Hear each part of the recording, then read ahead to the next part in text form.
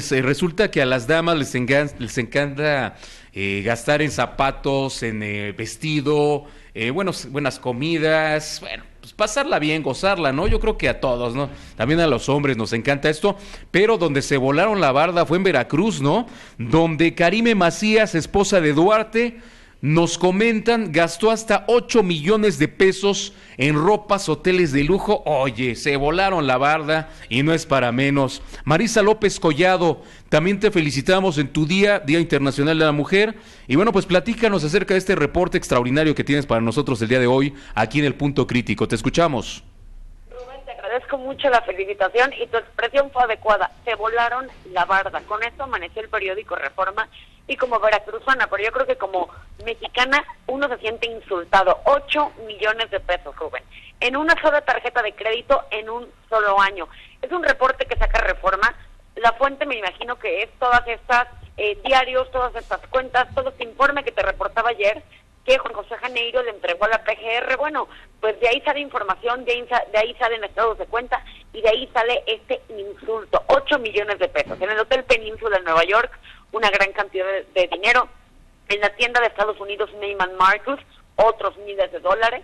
La misma tienda que eh, de cierta forma los mexicanos habíamos conocido por el Vester Gordillo, quien también acostumbraba a comprar ahí. En Phoenix, Arizona tiene otras compras muy fuertes, Karime Macías, pero no solo ahí, sino en la tienda Hermes en la Ciudad de México. O sea, compras magnatas, por no decir millonarias, en la Ciudad de México también, sumando un total de 8 millones de pesos durante un año en una American Express adicional a Moisés Mansur.